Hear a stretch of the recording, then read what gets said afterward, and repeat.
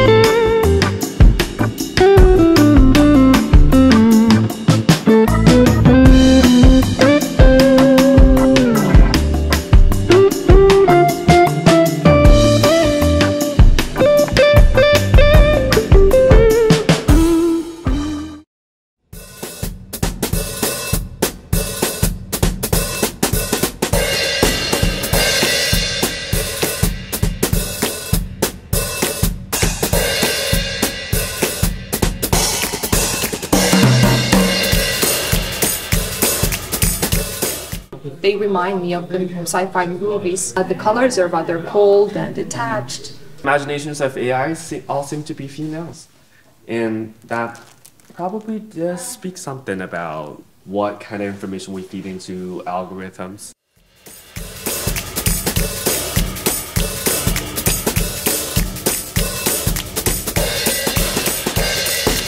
This one is maybe uh, more more technical, more more dry, The second one uh, gives more of idea of, uh, of a speech. written by a machine.